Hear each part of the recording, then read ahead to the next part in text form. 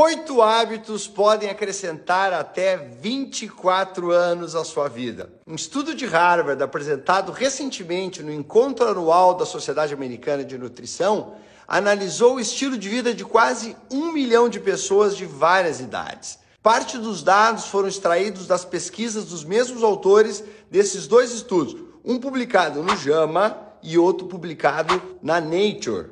Ao final, este grande estudo, ainda não publicado, foi capaz de classificar oito comportamentos aumentadores da longevidade. Veja quais são esses oito hábitos e a sua parcela para o aumento da sobrevida humana. Número 1. Um, praticar exercícios físicos regulares, com 46% de aumento da longevidade. Número 2 não ter vício em medicamentos opioides, uma realidade mais americana, mas que aumentou 38% da vida dos seres humanos. Número 3, manter boas relações pessoais, 32%.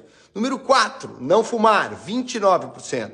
Número 5, controlar o estresse, 22%. Número 6, uma dieta com predomínio de plantas, 21%. Número 7, não ter episódios frequentes de abuso de álcool, 19%. E número 8, ter boas noites de sono, 18%. Por meio de uma análise multivariável, o estudo encontrou uma redução relativa de 87% na mortalidade por todas as causas para aqueles que adotaram os oito hábitos, o que significaria 24 anos ou mais de vida, lembrando que no Brasil a expectativa de vida média é de 76 anos, ou seja, ao adotarmos os hábitos mencionados, poderíamos estar falando em quem sabe viver bem por um século.